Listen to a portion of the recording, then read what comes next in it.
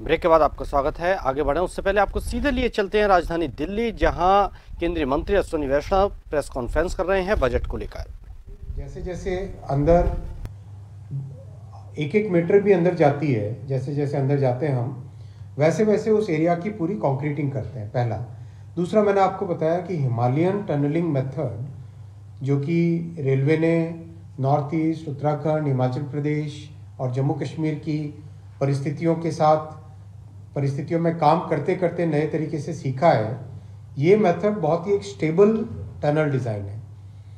अगर हम फिज़िक्स से बात करें टनल कभी भी करें तो सबसे ज़्यादा स्टेबल होता है उस एरिया के प्रेशर को लेने वाली डिज़ाइन यानी अगर मान लो पत्थर है तो सबसे आसान पत्थर के अंदर टनल बनाना होता है।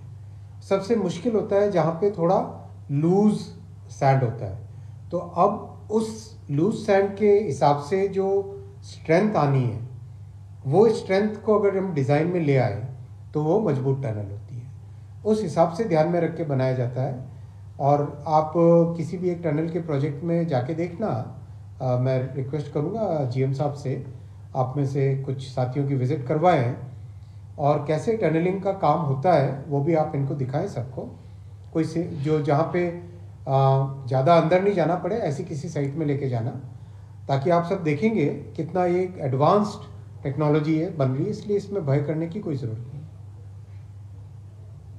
फिर भी फिर भी फिर भी हर तरह की सावधानी भी रख रहे हैं, और काम को कहीं पर भी शॉर्टकट न करके समय ज़्यादा लगे भले ही, लेकिन काम मजबूती से हो, वैसा मेरा हमेशा अधिकारियों के पास आग्रह रहता है।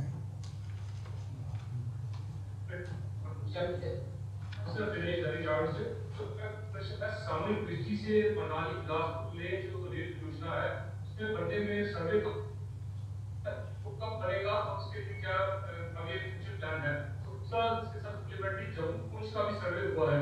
वो कब तक होगा, उसको लेकर क्या जो रेल देगा, वो क्या करेगा बहुत सारे नए प्रोजेक्ट्स लिए जा रहे हैं। जैसा मैंने आपको शुरू में ही बताया कि डीपीआर बनाना डीपीआर बना के उसको सेंक्शन में लेके आना और विशेषकर अपने पहाड़ी क्षेत्रों में प्रोजेक्ट की कॉम्प्लेक्सिटी कई गुने बढ़ जाती है।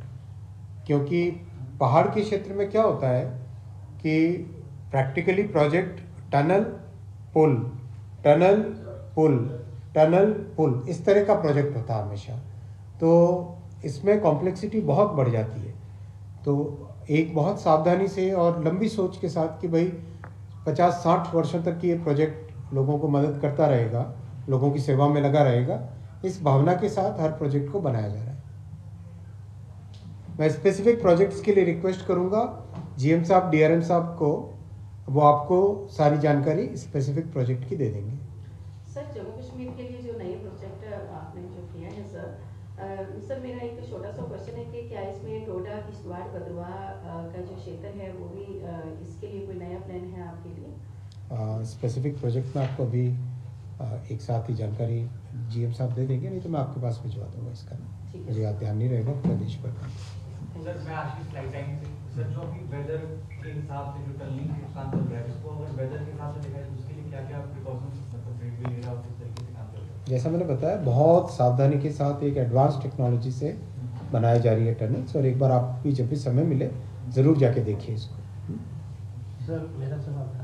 एक तो मैडम ने जो सवाल किया है जम्मू कश्मीर में जो हमारी जम्मू कश्मीर रीलिंग प्रोजेक्ट चल रहा है जो कंप्लीट होने वाला है एक तो वो जो सत्रह किलोमीटर का स्टेज है वो कब तक कंप्लीट होगा? नंबर टू क्या ये जो ऑनगोइंग प्रोजेक्ट इसके अलावा वो न्यू प्रोजेक्ट अगर वो काफ़ी नए लिए जा तो रहे हैं। तो, तो उसकी डिटेल काफ़ी नए लिए जा रहे हैं प्रोजेक्ट जैसा एक तो बारामूला से उरी तक का प्रोजेक्ट है और दो तीन और प्रोजेक्ट्स हैं इसमें, मुझे एग्जैक्टली नाम अभी कागज़ है क्या?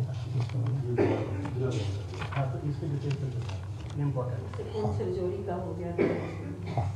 लेकिन अच्छा प्रभाव रहेगा। देखो, पिछले दस वर्षों में मोदी जी ने जिस तरह से रेलवे को एक नए लेवल पे लेके आए, अब वो समय आ गया जब एक्सपेंशन काफ़ी तेज़ी से हो सकता है।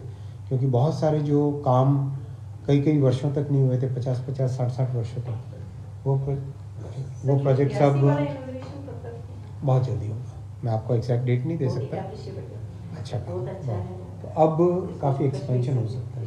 इलेक्ट्रिफिकेशन कंप्लीट होने को आया।